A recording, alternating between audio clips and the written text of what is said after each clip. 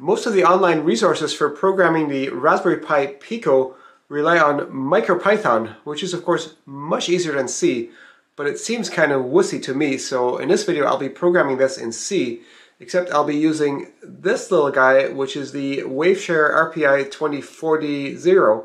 And this board is based on the uh, same chip as the uh, Pi Pico, except it's on the back. And it's got fewer pins, but it adds a reset button, which is very nice. And the LED on this one is a color LED, which is much harder to program. And the problem I set out to solve is with our microwave oven, because when this one finishes cooking, it does a series of beeps like this. And once it's done beeping, it won't do any more alerting. Now, this didn't used to be a problem, but nowadays the kids often make quite a ruckus at supper time, so either we don't hear the beeping or we're too distracted to act on it, and then uh, next morning at breakfast time we discover there's a food item left in the microwave all night. Now some microwave ovens are smart enough to keep reminding you if you didn't take the food out. This one doesn't, and if we were to buy a new one, how would we know that it's one that actually keeps reminding? So I need to detect when the microwave is cooking and when the door has been opened to retrieve the food, and I can detect both of these by how much current the microwave consumes with a clamp-on current transformer on this cable going to the microwave. And door open is also easy to detect because there's a light that turns on and that consumes power. So this uh, clamp-on current transformer essentially produces a small current for a big current flowing through here and I'm feeding that into the A to D converter on the uh, Pi Pico and this is the schematic I've got. So I've got uh, two 1 k ohm resistors to produce me a half range voltage, which is the center of the A to D range. That feeds into one side of my current transformer, and the other side feeds into the ADC channel 1. And there's a 100 ohm resistor that essentially turns the current that this produces into a nice voltage, and the cap going to ground to filter it a little bit. And that's how I can detect the current this current transformer is detecting. And then for alerting if food is left in the microwave, I've got this piezo speaker here hooked up to two of the outputs on here. That's this one here. I originally had it just hooked up to one output and ground, but it wasn't loud enough. But by hooking up to two outputs, I can essentially reverse these two and produce an AC signal with twice the amplitude versus hooking it just to ground because this thing is not very loud. So here's the main line of my code.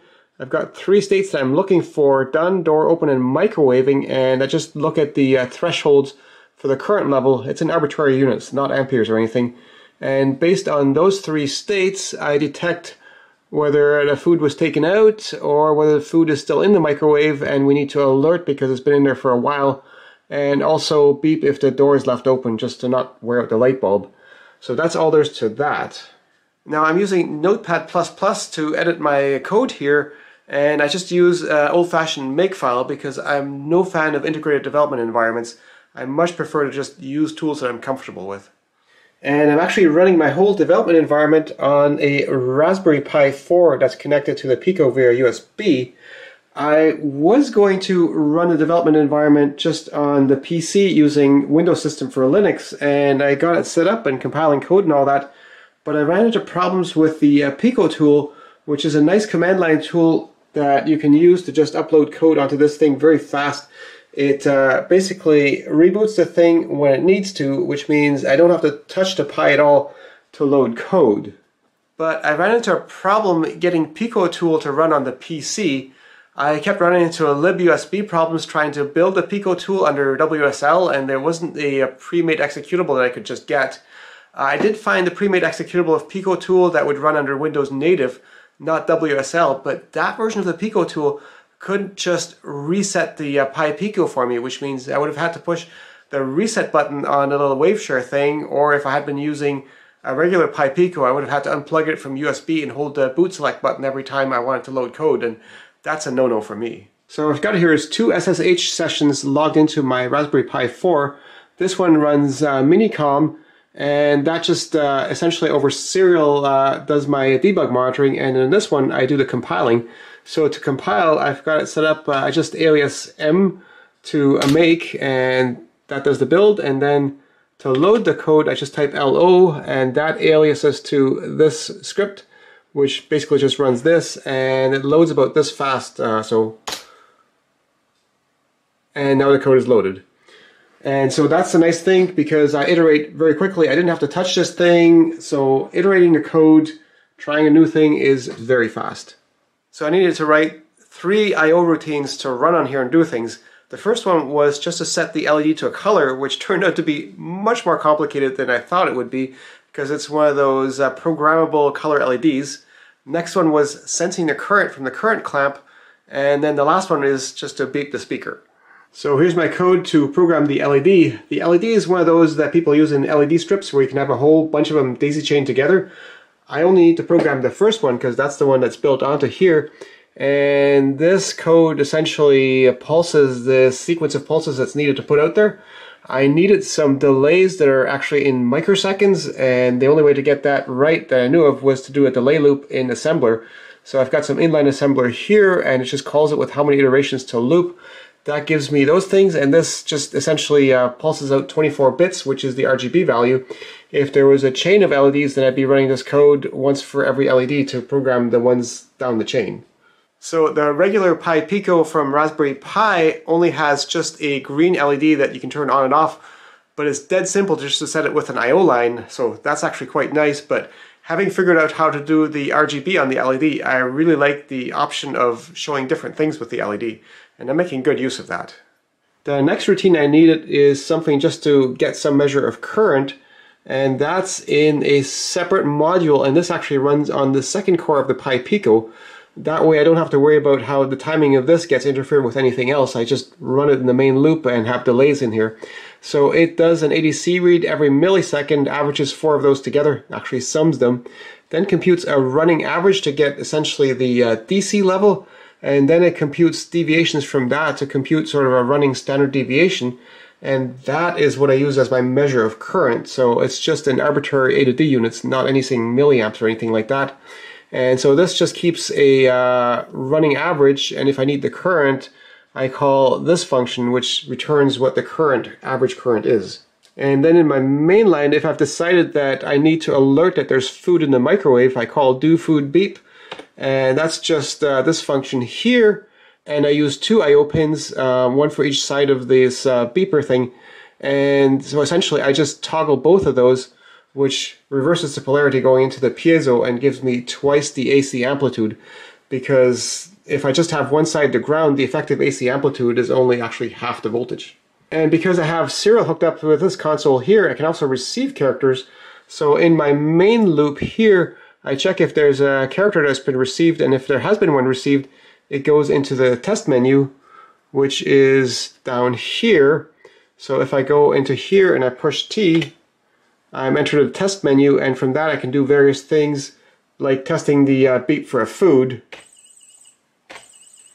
And that food beep is not very loud at all, but if this piezo speaker is actually in a block of wood like this, then it's much more noticeable. And it doesn't need to be super loud because if we don't hear it, well, this thing just keeps doing it every minute or so. So eventually we'll hear it and we'll take that food out before the meal is done, I hope. I've just shortened all my timeouts by quite a lot to demonstrate this more quickly, so we'll do some cooking. And that's done, and this is now detected there's food in there. And it does the alert once in a while.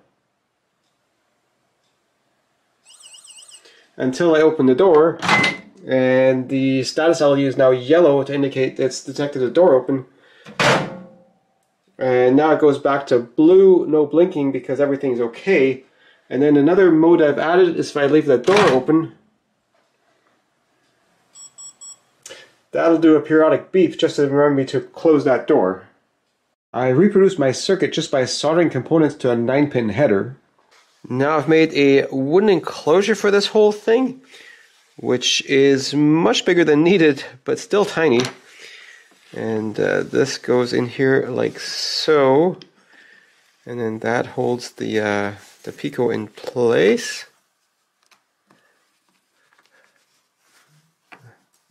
Then I need some strain relief for this wire. So this little block pinches this wire keeps it from getting pulled out. This is the lid piezo goes in the hole here and this screw kind of holds it in place and that goes on here Uh-oh. And it turns out this screw hits this part here, so I have to carve away a little bit.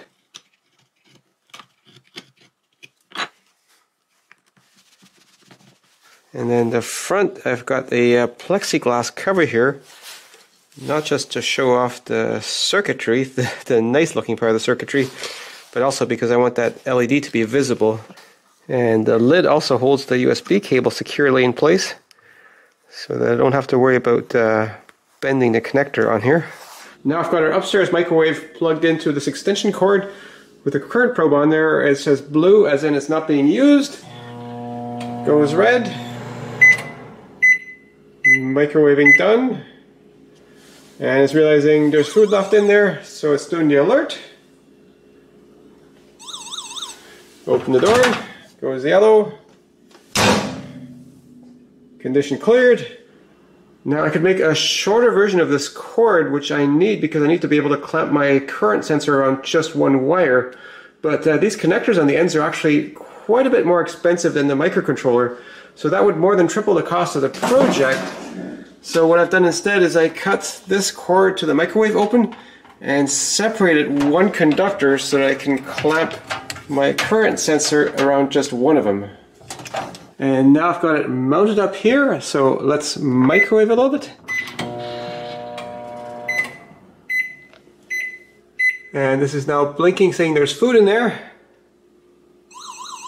And the timeouts are set really short right now. Let's open the door.